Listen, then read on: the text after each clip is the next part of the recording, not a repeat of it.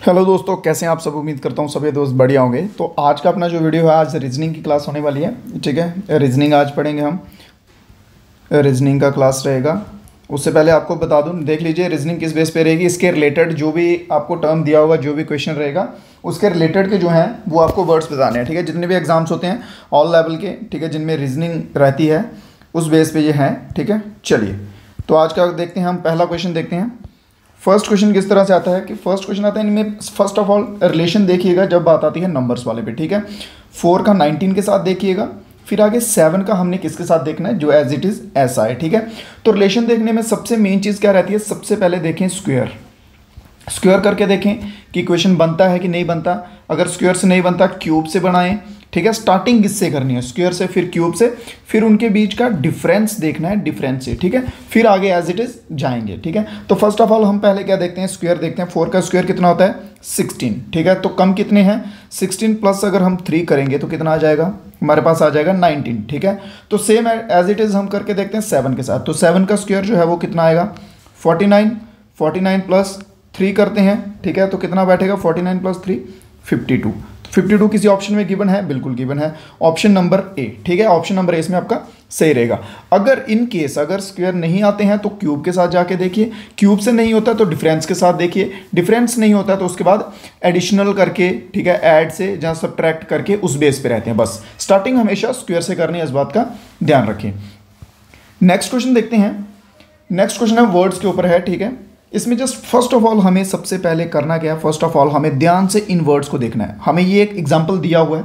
Example के तौर पे हमें दो वर्ड्स जो है वो दिए हुए हैं। अब हमें देखना है कि इसको सेम इसके जैसा जो है एग्ज़ाम्पल के अकॉर्डिंग इनमें से कौन सा आंसर जो है रहेगा। ठीक है? तो इसमें देख लीजिए डी जो है डी एज इट इज़ अपनी जगह पे है। ठीक है? सेकेंड नंबर पे इसका कौन सा है? Just a minute second number पे इसमें आई है और आई यहाँ पे कितने नंबर पे है? थर्ड नंबर पे। एम यहाँ पे थर्ड नंबर पे, वो कहाँ पे है? सेकंड नंबर पे।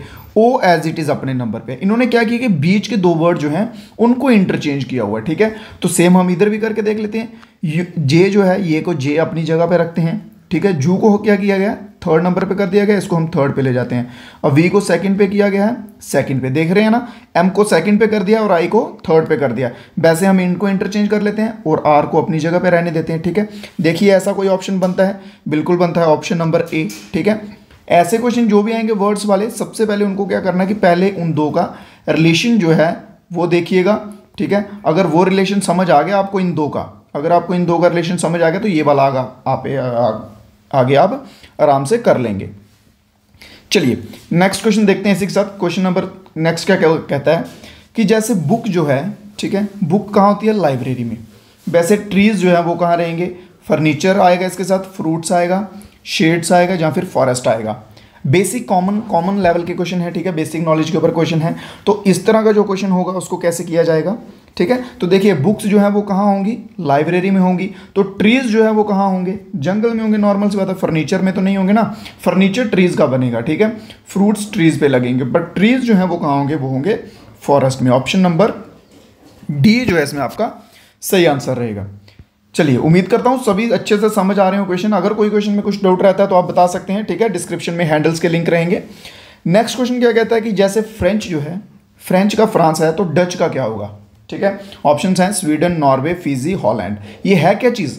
फ्रेंच जो है, ये लैंग्वेज है। फ्रेंच कहाँ बोली जाती है? फ्रांस में, ठीक है? ये लैंग्वेज बेस्ड क्वेश्चन है। फ्रेंच जैसे फ्रांस में बोली जाती है, वैसे डच लैंग्वेज जो है, वो कहाँ बोली जाती है, ठीक है? स्वीडन में नॉर्वे में फिजी में, या फिर हॉलैंड में, ठीक है? तो ये बोली जाती है हॉलैंड में। ऑप्शन नंबर डी इसमें आपका सही रहने वाला है। नेक्स्ट क्वेश्चन देख लेते हैं। इसमें सबसे अलग नंबर बताना है आपको, ठीक है? क्वेश्चन नंबर देखिए next twenty two eighteen twelve और फिफ्टीन ठीक है? जल्दी से। इसको आपने सबसे अलग बताना है। जल्दी से। इनमें सबसे अलग कौन सा है? बेसिक क्वेश्चन है।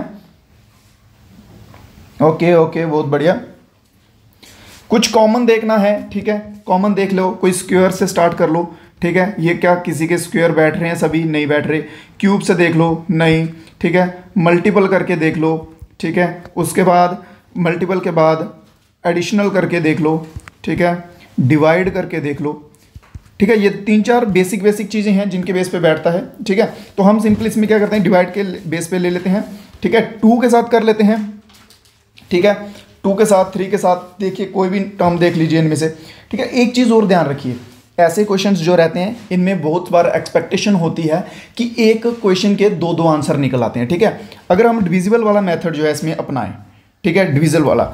अगर हम इसको टू से डिवाइड करेंगे तो ये भी टू से जाएगा, ये भी जाएगा और जे भी जाएगा। बट फिफ्टीन जो है ये टू से डिवाइड नहीं होगा, ठीक है? उसी की जगह सेम अगर हम थ्री को ले लें, ठीक है? तो थ्री से फिफ्टीन जाएगा ट्वेल्व जाएगा, ठीक है? एटीन जाएगा बट ट्वेंटी टू नहीं जाएगा, ठीक है? तो ये डिपेंड करता है कि क्वेश्चन बनाने वाले पर कि उसने किस तरह का या किस बेस पे जो है क्वेश्चन बनाया हुआ है, ठीक है? तो चलिए, इसका आंसर जो है बुक के अकॉर्डिंग मैं बता रहा हूँ। उसमें इन्होंने थ्री को लिया है टू को नहीं लिया है, ठीक है? तो उसका आंसर इन्होंने ट्वेंटी टू के साथ दिया हुआ है, ठीक है? कि थ्री से फिफ्टीन भी डिविजिबल है ट्वेल्व भी डिविजिबल है एटीन भी डिविजिबल है बट ट्वेंटी टू जो है, वो डिविजिबल नहीं है। ठीक है मेरे भाई? तो आज के वीडियो में इतना ही। अगर क्वेश्चन अच्छे लगे हो तो चैनल को सब्सक्राइब कर लें वीडियो को लाइक कर दें। Thank you